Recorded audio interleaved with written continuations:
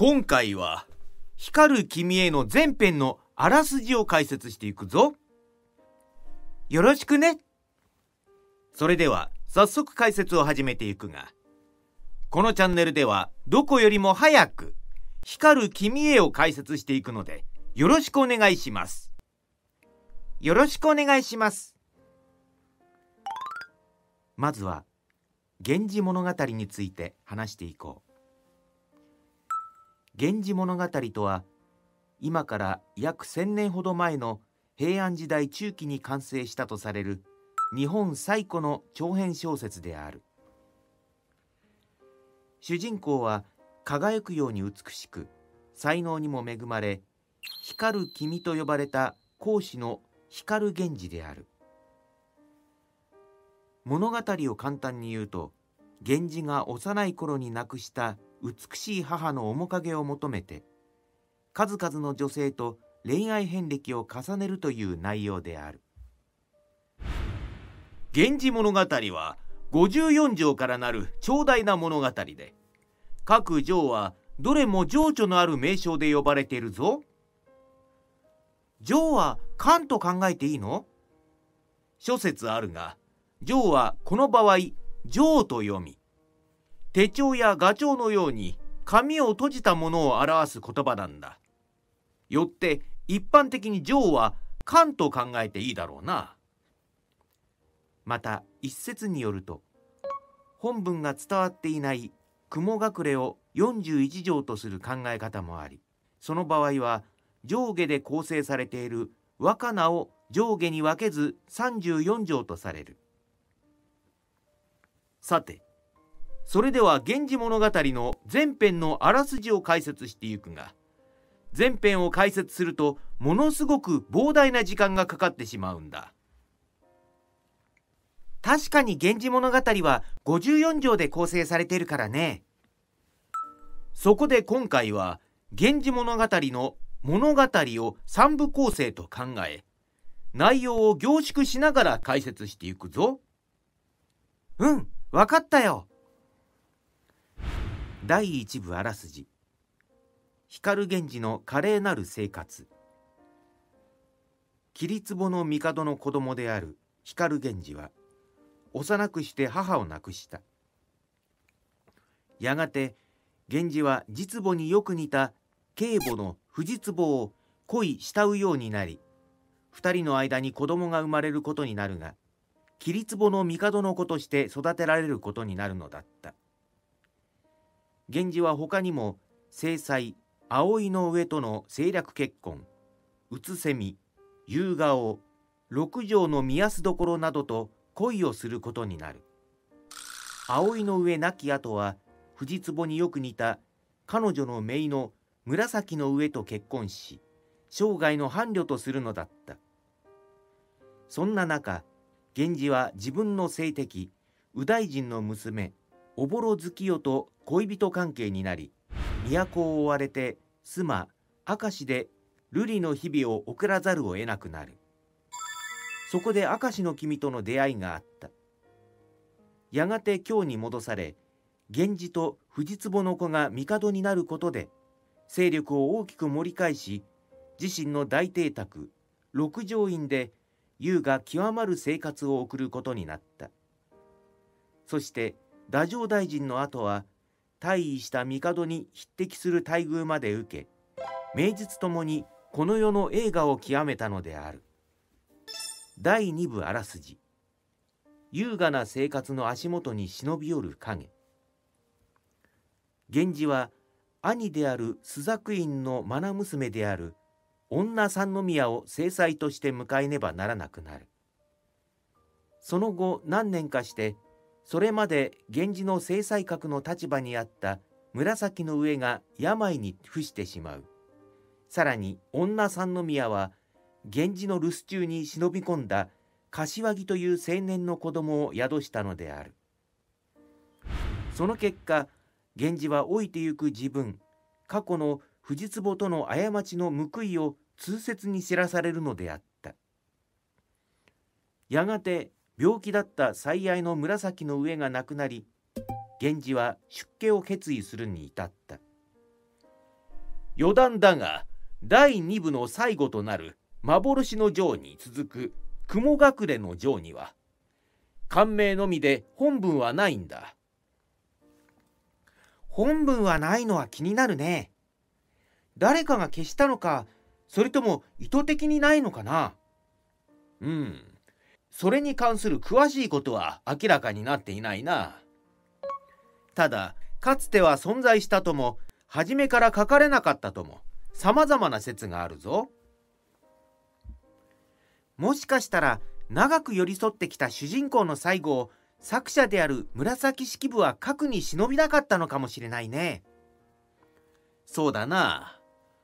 この点が大河ドラマではどのように描かれるのか気になるところだな。第3部あらすじ。光源氏の子や孫を通して描かれる人間模様。源氏の末子として生まれ大切に育てられた薫や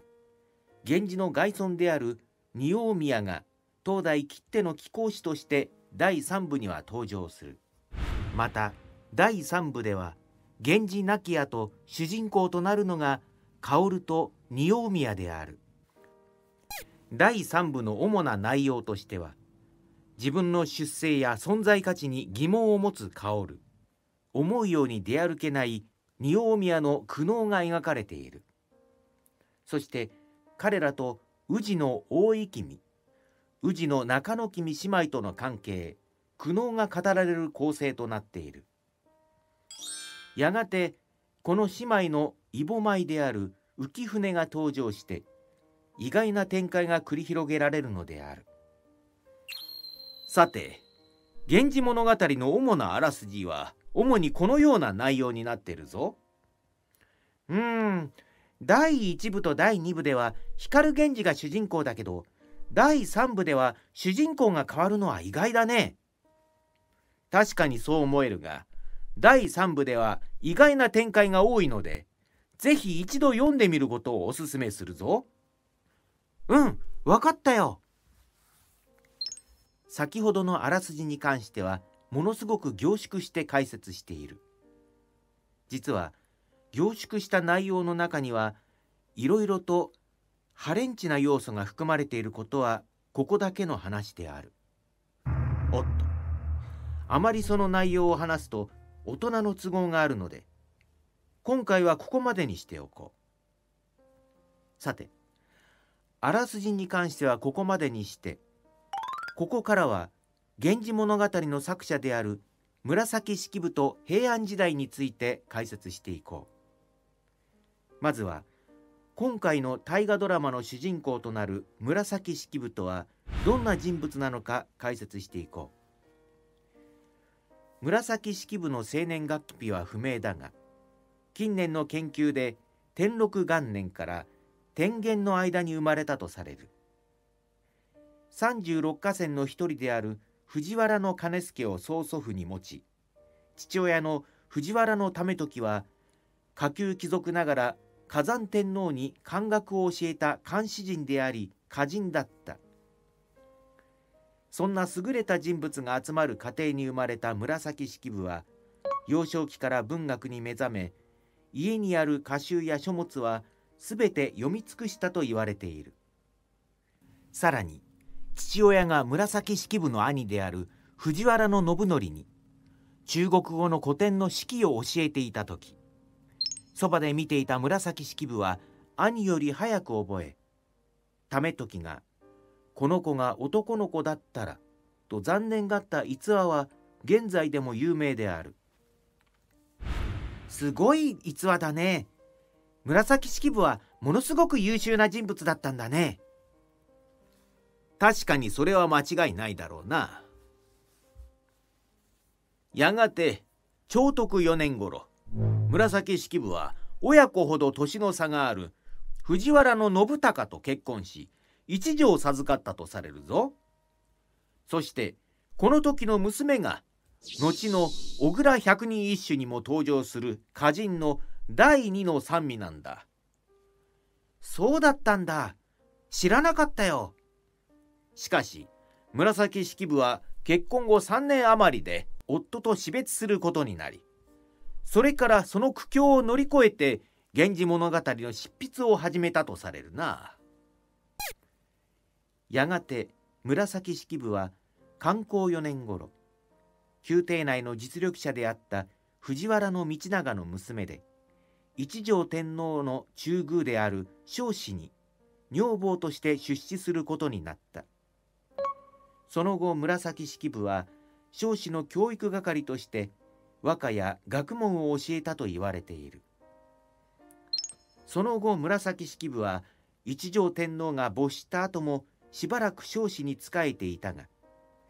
昭和3年頃に40歳くらいで死去したと考えられている。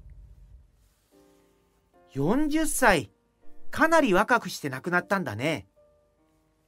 当時の女性の平均寿命は約40歳だったから。紫式部が創生だったわけではないがな。確かに当時の平均寿命を考えたらそうだね。紫式部の話はここまでにして。次は平安時代とは一体どんな時代だったのかおさらいしていこう。平安時代とは平安京への遷都が行われた延暦13年から鎌倉幕府が成立した文治元年までを指す時代だ。平安時代は想像よりも長い時代なんだね。そうだな。平安時代は約390年続いているからな。平安時代の政治史は大きく3つに分けられるぞ。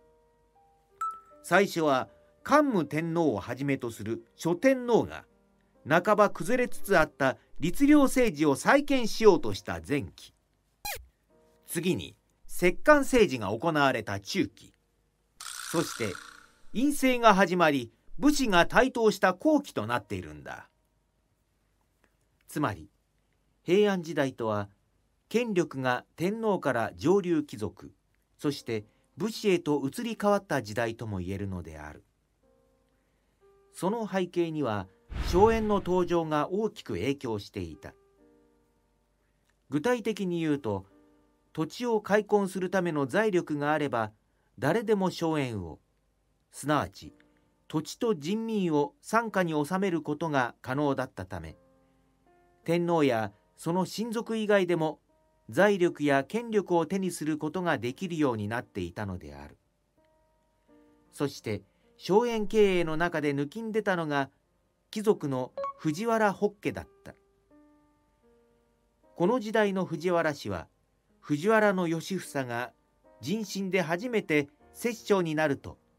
ライバルを次々と蹴落とし国政をほとんど掌握することになった。そして光る君へにも登場する藤原道長の代に最盛期を迎えることになった。道長はこの世をば我が世とぞと思う望月の欠けたることもなしと思えばと読んでいるから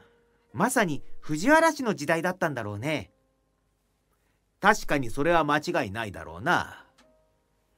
その後藤原氏の影響力が徐々に失われてゆくと御三条天皇が陰性という新たな政治形態を開始したぞ。しかし平安時代後期に入るにつれ国の経済状況は逼迫し治安が悪化していくことになったんだ。これにより天皇や要職に就いた貴族たちは身を守るためにこぞって武士たちと手を結ぶようになり徐々に武士が権力の中枢へと食い込むようになりその中で台頭した武家が源氏と兵士となるんだ。なるほどね。ここで源氏と兵士が台頭するんだね。さて今回の内容を踏まえて光る君へはどのような作品として描かれるのか非常に気になるところである。また主演の吉高由里子さんの演技にも注目していきたい。この動画がいいなと思ったらチャンネル登録高評価よろしくお願いするのじゃ。